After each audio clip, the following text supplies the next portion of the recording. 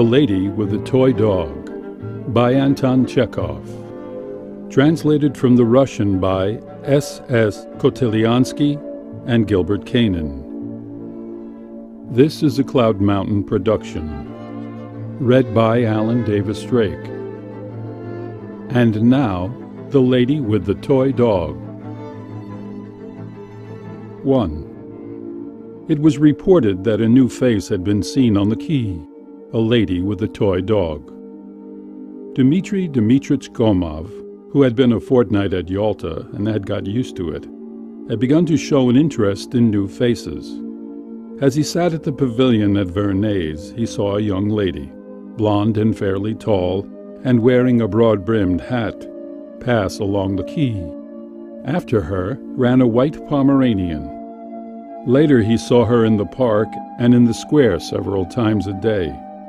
She walked by herself, always in the same broad-brimmed hat, and with this white dog. Nobody knew who she was, and she was spoken of as the lady with the toy dog. If, thought Gumov, if she is here without a husband or a friend, it would be well to make her acquaintance. He was not yet forty, but he had a daughter of twelve and two boys at school. He had married young, in his second year at the university, and now his wife seemed half as old again as himself. She was a tall woman with dark eyebrows, erect, grave, stolid, and she thought herself an intellectual woman. She read a great deal, called her husband not Dmitri but Dimitri, and in his private mind he thought her short-witted, narrow-minded, and ungracious. He was afraid of her and disliked being at home. He had begun to betray her with other women long ago, betrayed her frequently, and probably for that reason nearly always spoke ill of women. And when they were discussed in his presence, he would maintain that they were of an inferior race. It seemed to him that his experience was bitter enough to give him the right to call them any name he liked. But he could not live a couple of days without the inferior race. With men he was bored and ill at ease, cold and unable to talk, and when he was with women, he felt easy and knew what to talk about and how to behave, and even when he was silent with them, he felt quite comfortable. In his appearance, as in his character, indeed in his whole nature, there was something attractive, indefinable, which drew women to him and charmed them. He knew it, and he too was drawn by some mysterious power to them.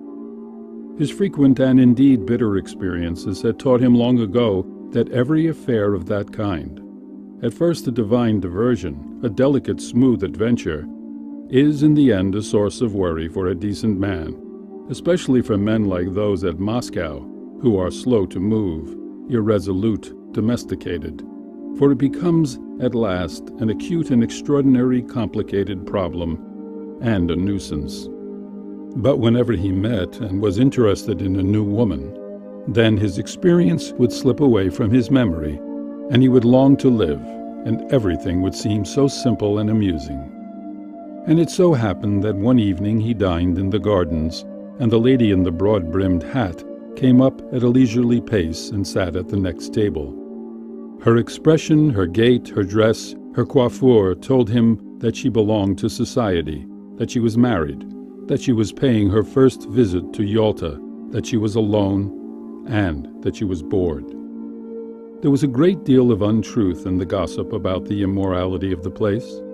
He scorned such tales, knowing that they were, for the most part, concocted by people who would be only too ready to sin if they had the chance.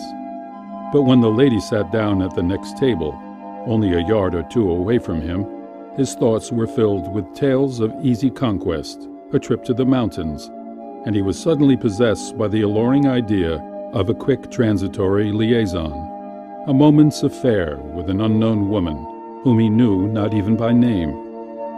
He beckoned to the little dog, and when it came to him, wagged his finger at it. The dog began to growl. Gumov again wagged his finger. The lady glanced at him and at once cast her eyes down. He won't bite, she said and blushed. May I give him a bone? and when she nodded emphatically, he asked affably, Have you been in Yalta long? About five days. And I am just dragging through my second week. They were silent for a while. Time goes quickly, she said, and it is amazingly boring here. It is the usual thing to say that it is boring here. People live quite happily in dull holes like Byaliev or Zhidra, but as soon as they come here they say, How boring it is!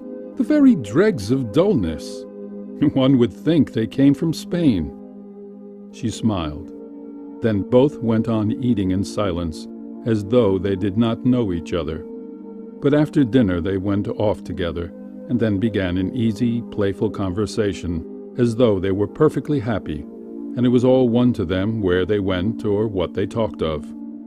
They walked and talked of how the sea was strangely luminous, the water lilac so soft and warm, and athwart it the moon cast a golden streak. They said how stifling it was after the hot day. Gumov told her of how he came to Moscow and was a philologist by education, but in a bank by profession, and how he had once wanted to sing an opera but gave it up, and how he had two houses in Moscow. And from her he learned that she came from Petersburg, was born there, but married at S, where she had been living for the last two years, that she would stay another month at Yalta and perhaps her husband would come for her, because he too needed a rest. She could not tell him what her husband was, provincial administrator or Zemstvo council, and she seemed to think it funny and Gumov found out that her name was Anna Sergeyevna. In his room at night he thought of her and how they would meet the next day. They must do so. As he was going to sleep, it struck him that she could only lately have left school and had been at her lessons, even as his daughter was then. He remembered how bashful and gauche she was when she laughed and talked with a stranger. It must be, he thought, the first time she had been alone and in such a place with men walking after her and looking at her and talking to her, all with the same secret purpose, which she could not but guess. He thought of her slender white neck and her pretty gray eyes. There is something touching about her, he thought as he began to go to sleep.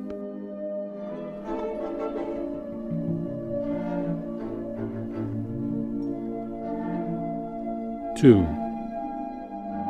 A week passed. It was a blazing day. Indoors it was stifling, and in the streets the dust whirled along. All day long he was plagued with thirst, and he came into the pavilion every few minutes and offered Anna Sergeyevna an iced drink or an ice. It was impossibly hot. In the evening, when the air was fresher, they walked to the jetty to see the steamer come in. There was quite a crowd, all gathered to meet somebody, for they carried bouquets. And among them were clearly marked the peculiarities of Yalta. The elderly ladies were youngly dressed, and there were many generals. The sea was rough and the steamer was late, and before it turned into the jetty, it had to do a great deal of maneuvering. Anna Sergeyevna looked through her lorgnette at the steamer and the passengers, as though she were looking for friends and when she turned to Gomov, her eyes shone. She talked much, and her questions were abrupt, and she forgot what she had said. And then she lost her lorgnette in the crowd. The well-dressed people went away, the wind dropped, and Gumov and Anna Sergeyevna stood as though they were waiting for somebody to come from that steamer. Anna Sergeyevna was silent. She smelled her flowers and did not look at Gomov. The weather has gotten pleasanter towards evening, he said. Where shall we go now? Shall we take a carriage? She did not answer. He fixed his eyes on her and suddenly embraced her and kissed her lips, and he was kindled with the perfume and the moisture of the flowers. At once he started and looked around. Had not someone seen? Let us go to your... he murmured and they walked quickly away. Her room was stifling and smelled of scents which he had bought at the Japanese shop. Gumov looked at her and thought, What strange chances there are in life. From the past there came the memory of earlier good-natured women, gay in their love, grateful to him for their happiness, short though it might be, and of others, like his wife, who loved without sincerity, and talked over much and affectedly, hysterically, as though they were protesting that it was not love nor passion but something more important, and of the few beautiful cold women, into whose eyes there would flash suddenly a fierce expression, a stubborn desire to take, to snatch from life more than it can give.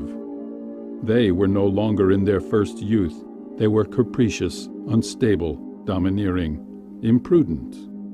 And when Gumov became cold towards them, then their beauty aroused him to hatred, and the lace on their lingerie reminded him of the scales of fish.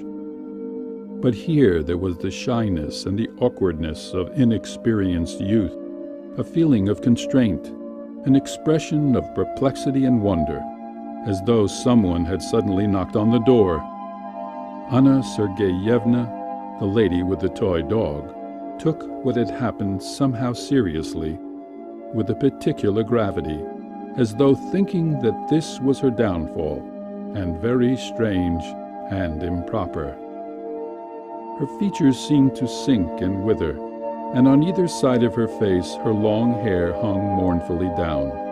She sat crestfallen and musing, exactly like a woman taken in sin in some old picture. It's not right, she said. You are the first to lose respect for me. There was a melon on the table. Gumov cut a slice and began to eat it slowly. At least half an hour passed in silence. Anna Sergeyevna was very touching. She irradiated the purity of a simple, devout, inexperienced woman. The solitary candle on the table hardly lighted her face, but it showed her very wretched why should I cease to respect you? asked Gumov. You don't know what you're saying. God forgive me, she said, and her eyes filled with tears.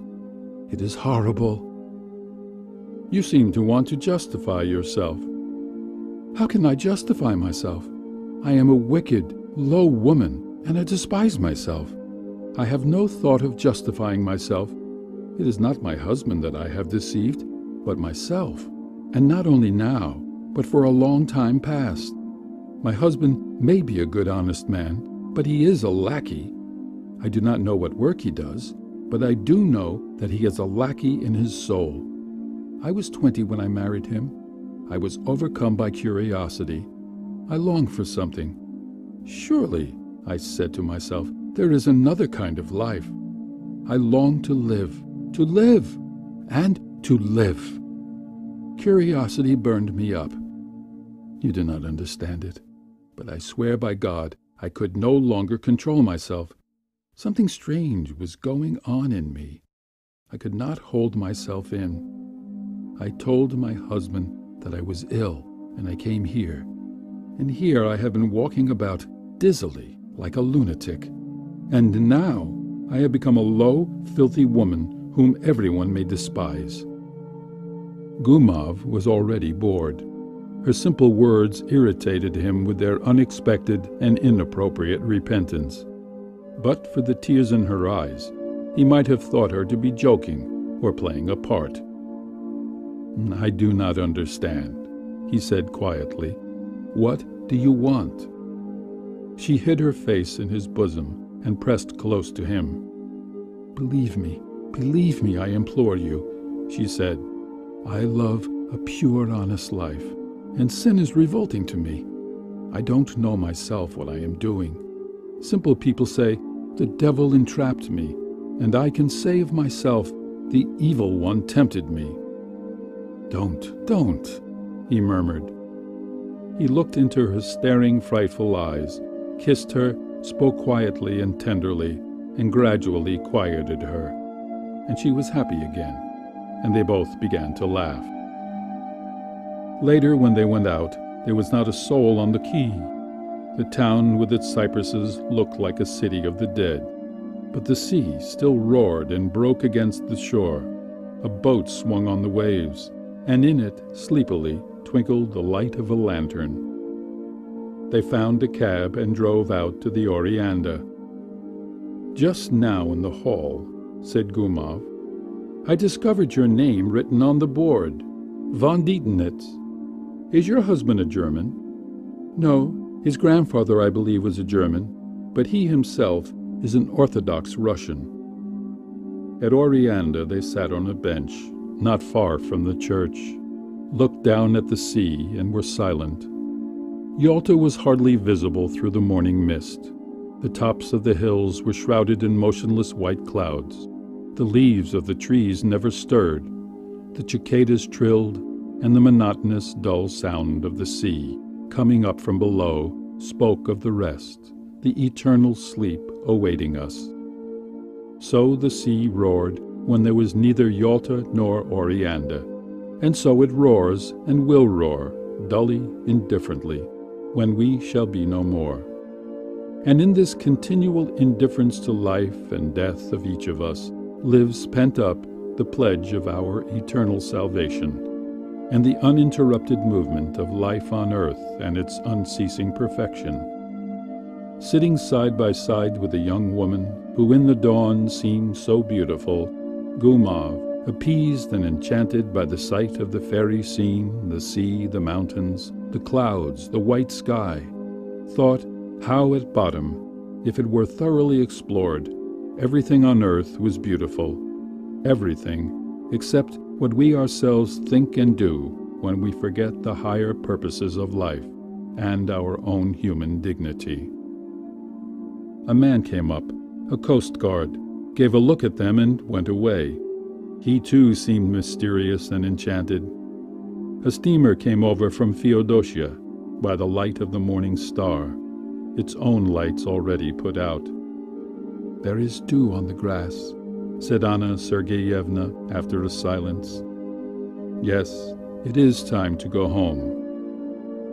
They returned to the town. Then every afternoon they met on the quay and lunched together, dined, walked, enjoyed the sea.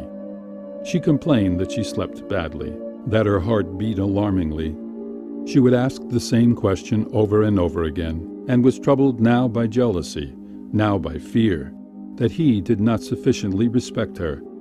And often in the square or the gardens, where there was no one near, he would draw her close and kiss her passionately their complete idleness, these kisses in the full daylight, given timidly and fearfully lest anyone should see, the heat, the smell of the sea, and the continual brilliant parade of leisured, well-dressed, well-fed people almost regenerated him.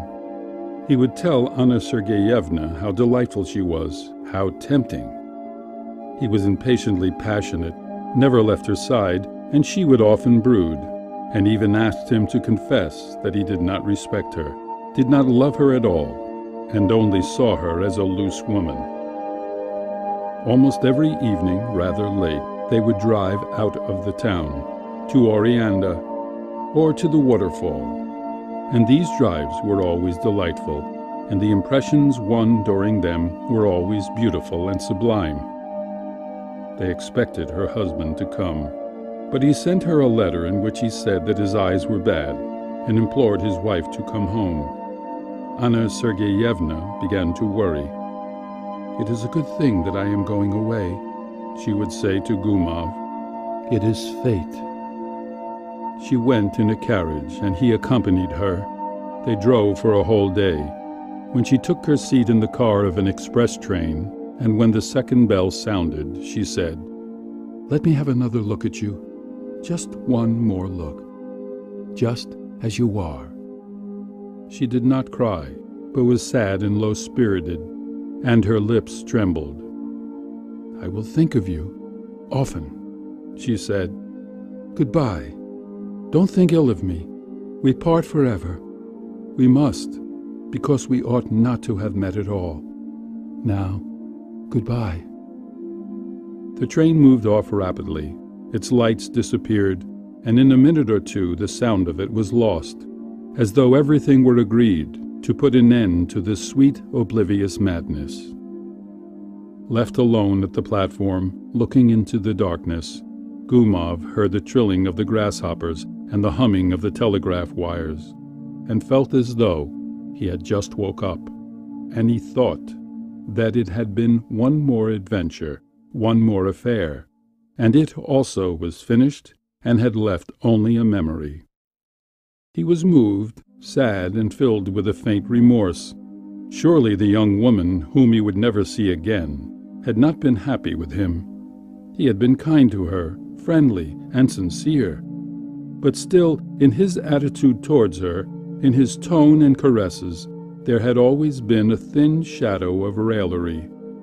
The rather rough arrogance of the successful male, aggravated by the fact that he was twice as old as she.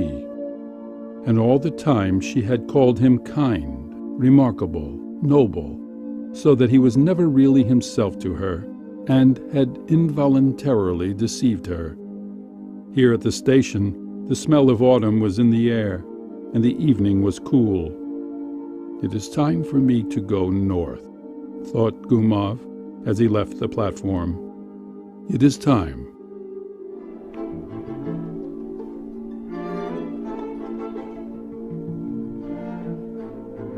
Three. At home in Moscow it was already like winter. The stoves were heated and in the mornings, when the children were getting ready to go to school, had their tea, it was dark and their nurse lighted the lamp for a short while. The frost had already begun. When the first snow falls, the first day of driving in sledges, it is good to see the white earth, the white roofs. One breathes easily, eagerly, and then one remembers the days of youth. The old lime trees and birches, white with hoarfrost, have a kindly expression. They are nearer to the heart than cypresses and palm trees, and with the dear familiar trees, there is no need to think of mountains and the sea. Gumov was a native of Moscow. He returned to Moscow on a fine frosty day, and when he donned his fur coat and warm gloves and took a stroll through Petrovka, and when on Saturday evening he heard the church bells ringing then his recent travels and the places he had visited lost all their charm. Little by little he sank back into Moscow life and read eagerly three newspapers a day and said that he did not read Moscow papers as a matter of principle. He was drawn into a round of restaurants, clubs, dinner parties, parties, and was flattered to have his house frequented by famous lawyers and actors and to play cards with a professor at the university club. He could eat a whole plateful of hot selyanka. So a month would pass, and Anna Sergeyevna, he thought, would be lost in the mists of memory, and only rarely would she visit his dreams with her touching smile, just as other women had done. But more than a month passed, full winter came, and in his memory everything was clear as though he had parted from Anna Sergeyevna only yesterday, and his memory was lit by a light that grew even stronger, no matter how, through the voices of his children saying their lessons, penetrating into the evening stillness of his study, through hearing a song, or the music in a restaurant, or the snowstorm howling in the chimney. Suddenly, the whole thing would come to life again in his memory. The meeting on the jetty, the early mornings with the mists in the mountains, the steamer from Feodosia, and their kisses. He would pace up and down his room and remember it all and smile. And then his memories would drift into dreams, and the past was confused in his imagination with the future. He did not dream at night of Anna Sergeyevna, but she followed him everywhere, like a shadow, watching him as he shut his eyes, he could see her vividly, and she seemed handsomer, tenderer, younger than in reality, and he seemed to himself better than he had been at Yalta. In the evening she would look at him from the bookcase, from the fireplace, from the corner. He could hear her breathing and the soft rustle of her dress. In the street he would gaze at women's faces to see if there were not one like her, he was filled with a great longing to share his memories with someone, but at home it was impossible to speak of his love. and away from his home there was no one. Impossible to talk of her to the other people in the house and the men at the bank. And talk of what? Had he loved her? Was there anything fine, romantic, or elevating or even interesting in his relations with Anna Sergeyevna? And he would speak vaguely of love, of women, and nobody guessed what was the matter. And only his wife would raise her dark eyebrows and said, Dmitri, the role of coxcomb does not suit you at all. At night, as he was coming out of the club with his partner, an official, he could not help saying, if only I could tell what a fascinating woman I met at Yalta. The official seated himself in his sledge and drove off, but suddenly called, Dmitri, Dmitri Dmitrich. Yes, you were right. The sturgeon was tainted. These banal words suddenly roused Gumov's indignation. They seemed to him degrading and impure.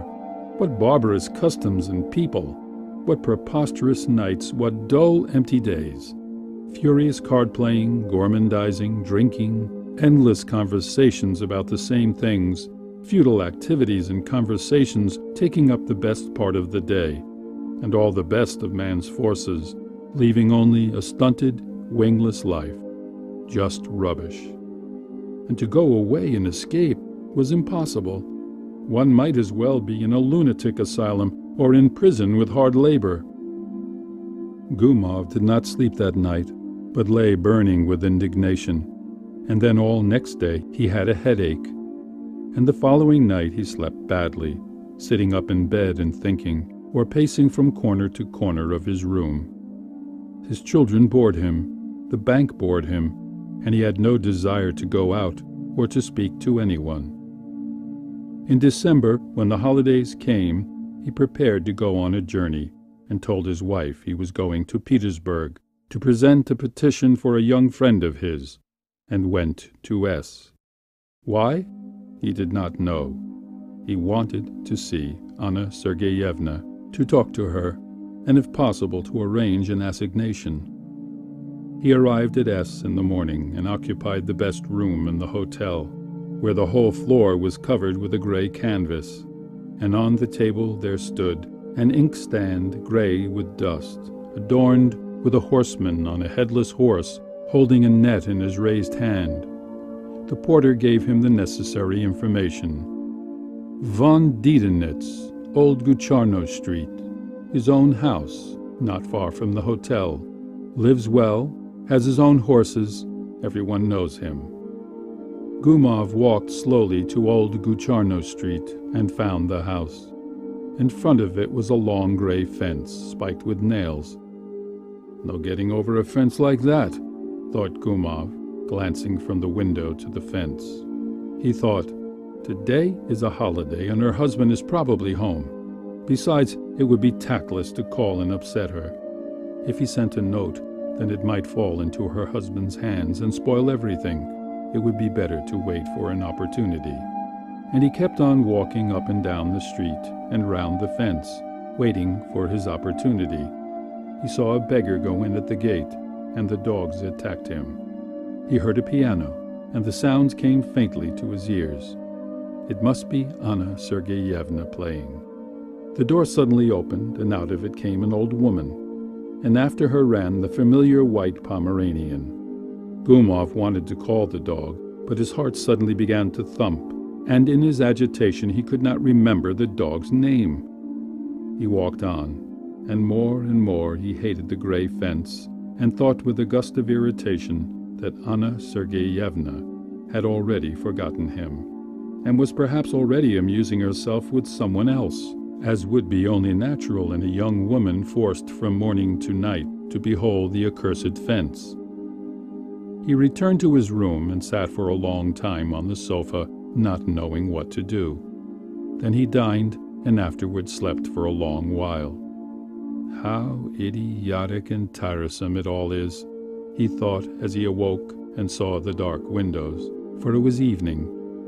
I've had enough sleep, and what shall I do tonight? He sat on his bed, which was covered with a cheap gray blanket, exactly like those used in a hospital and tormented himself. So much for the lady with the toy dog. So much for the great adventure. Here you sit. However, in the morning, at the station, his eye had been caught by a poster with large letters. First performance of The Geisha. He remembered that and went to the theater. It was quite possible she will go to the first performance, he thought. The theater was full, and as usual in all provincial theaters, there was a thick mist above the lights. The gallery was noisily restless. In the first row before the opening of the performance stood the local dandies, with their hands behind their backs, and there in the governor's box, in front, sat the governor's daughter, and the governor himself sat modestly behind the curtain, and only his hands were visible. The curtain quivered, the orchestra tuned for a long time, and while the audience was coming in and taking their seats, Gurov gazed eagerly round. At last, Anna Sergeyevna came in. She took her seat in the third row, and when Gurov glanced at her, his heart ached, and he knew that for him there was no one in the whole world nearer, dearer, and more important than she. She was lost in this provincial rabble, the little undistinguished woman with the common lorgnette in her hands, yet she filled his whole life. She was his grief, his joy, his only happiness, and he longed for her. And through the noise of the bad orchestra with its tenth-rate fiddles, he thought how dear she was to him. He thought and dreamed. With Anna Sergeyevna there came in a young man with short side whiskers, very tall, stooping. With every movement she shook and bowed continually. Probably he was the husband, whom in a bitter mood in Yalta she had called a lackey. And indeed, in his long figure, his side whiskers, the little bald patch at the top of his head, there was something of a lackey. He had a modest, sugary smile, and in his buttonhole he wore a university badge, exactly like a lackey's number. In the first entr'acte, the husband went out to smoke, and she was left alone. Gurov, who was also in the pit, came up to her and sat in a trembling voice with a forced smile. How do you do? She looked up at him and went pale. Then she glanced at him again in terror, not believing her eyes, clasped her fan and her lorgnette tightly together, apparently struggling to keep herself from fainting. Both were silent. She sat, he stood, frightened by her emotion, not daring to sit down beside her. The fiddles and flutes began to play, and suddenly it seemed to them as though all the people in the boxes were looking at them. She got up and walked quickly to the exit. He followed, and both walked absently along the corridors, down the stairs, up the stairs, with the crowd shifting and shimmering before their eyes. All kinds of uniforms, judges, teachers, crown estates, and all with badges. Ladies shone and shimmered before them, like fur coats on moving rows of clothes pegs, and there was a draught howling through the place, laden with the smell of tobacco and cigar ends. And Gurov, whose heart was thudding wildly, thought, Oh Lord, why all these men and that beastly orchestra? And that very moment he remembered how, when he had seen Anna Sergeyevna off that evening, at the station, he had said to himself that everything was over between them and they would never meet again. And now, how far off they were from the end! On a narrow dark staircase over which was written, This way to the amphitheatre, she stopped. How you frightened me, she said, breathing heavily, still pale and apparently stupefied. Oh, how you frightened me! I am nearly dead. Why did you come? Why? Understand me, Anna, he whispered quietly. I implore you to understand. She looked at him fearfully, in entreaty, with love in her eyes, gazing fixedly to gather in her memory every one of his features. I suffer so, she went on, not listening to him. All the time I thought only of you. I lived with thoughts of you, and I wanted to forget to forget. But why, why did you come? A little above them on the landing, two schoolboys stood and smoked and looked down at them. But Gurov did not care. He drew her to him and began to kiss her cheeks, her hands. What are you doing? What are you doing? She said in terror, thrusting him away. We were both mad. Go away tonight. You must go away at once. I implore you by everything you hold sacred. I implore you. The people are coming. Someone passed them on the stairs. You must go away. Anna Sergeyevna went on in a whisper. Do you hear, Dmitri Dmitrich? I'll come to you in Moscow. I never was happy. Now I am happy, and I shall never, never be happy. Never. Don't make me suffer even more. I swear. I swear. I'll come to Moscow. And now let us part. My dear, dearest darling, let us part. She pressed his hand and began to go quickly downstairs, all the while looking back at him. And in her eyes plainly showed that she was most unhappy. Gurov stood for a while, listened. Then, when all was quiet, he found his coat and left the theater.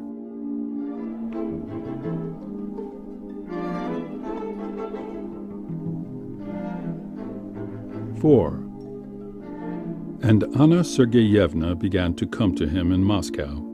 Once every two or three months she would leave S, telling her husband that she was going to consult a specialist in women's diseases. Her husband half believed and half disbelieved her. In Moscow she would stay at the Slaviansky Bazaar and sent a message at once to Gurov. He would come to her and nobody in Moscow knew. Once as he was going to her as usual one winter morning, he had not received her message the night before. He had had his daughter with him, for he was taking her to school, which is on the way. Great wet flakes of snow were falling. Three degrees above freezing, he said. And still the snow is falling, but the warmth is only on the surface of the earth. In the upper strata of the atmosphere, there is quite a different temperature. Yes, Papa. Why is there no thunder in winter? He explained this too, and as he spoke he thought of his assignation, and that not a living soul knew of it, or even would know.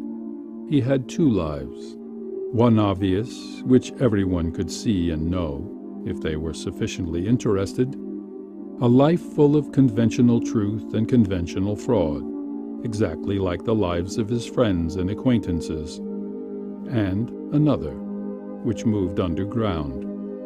And by a strange conspiracy of circumstances, everything that was to him important, interesting, vital, everything that enabled him to be sincere and denied self-deception and was the very core of his being, must dwell hidden away from others.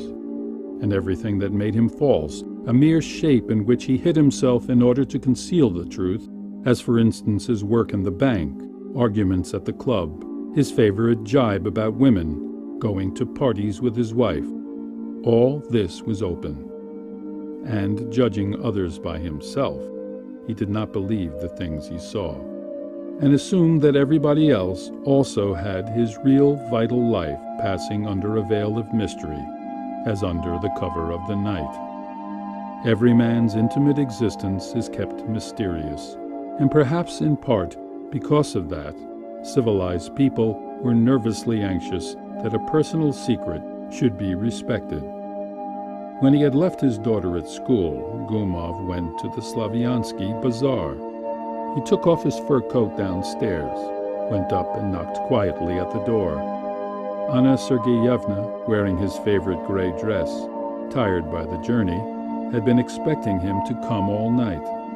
She was pale and looked at him without a smile, and flung herself at his breast as soon as he entered. Their kiss was long and lingering, as though they had not seen each other for a couple of years. Well, how are you getting on down there? he asked. What is your news? Wait, I'll tell you presently. I cannot. She could not speak, for she was weeping. She turned her face from him and dried her eyes. Well, let her cry a bit. I'll wait, he thought, and sat down. Then he rang and ordered tea. and then, as he drank it, she stood and gazed out of the window. She was weeping in distress, in the bitter knowledge that their life had fallen out so sadly, only seeing each other in secret, hiding themselves away like thieves. Was not their life cursed? Don't cry, he said. It was clear to him that their love was yet far from its end, which there was no seeing. Anna Sergeyevna was more and more passionately attached to him. She adored him, and it was inconceivable that he should tell her that their love must end some day. She would not believe it. He came to her and patted her shoulder fondly, and at the moment he saw himself in the mirror. His hair was already going gray, and it seemed strange to him that in the last few years he should have got so old and ugly. Her shoulders were warm and trembled to his touch. He was suddenly filled with pity for her, still so warm and beautiful, but probably beginning to fade and wither like his own. Why should she love him so much? He always seemed to women not what he really was, and they loved him too, not himself, but the creature of their imagination, the thing they hankered for in life. And when they had discovered their mistake, Still they loved him. And not one of them was happy with him. Time passed. He met women and was friends with them, went further and parted, but never once did he love. There was everything but love. And now, at last, when his hair was gray, he had fallen in love, real love, for the first time in his life. Anna Sergeyevna and he loved one another like dear kindred, like husband and wife, like devoted friends. It seemed to them that fate had destined them for one another, and it was inconceivable that he should have a wife, she a husband. They were like two birds of passage, a male and a female, which had been caught and forced to live in separate cages. They had forgiven each other all the past of which they were ashamed. They forgave everything in the present, and they felt that their love had changed both of them. Formerly, when he had felt a melancholy compunction, he used to comfort himself with all kinds of arguments, just as they happened to cross his mind. But now he was far removed from any such ideas. He was filled with a profound pity, and he desired to be tender and sincere. Don't cry, my darling, he said. You have cried enough. Now let us talk and see if we can't find some way out. Then they talked it all over, tried to discover the means of avoiding the necessity for concealment and deception and the torment of living in different towns, and of not seeing each other for a long time. How could they shake off these intolerable fetters? How? he asked, holding his head in his hands. How? And it seemed that but for a little while, and the solution would be found, and there would be a lovely new life. And to both of them it was clear that the end was still very far off, and that their hardest and most difficult period was only just beginning. End of The Lady with the Toy Dog by Anton Chekhov Read for Cloud Mountain Audio by Alan Davis Drake. Copyright 2009.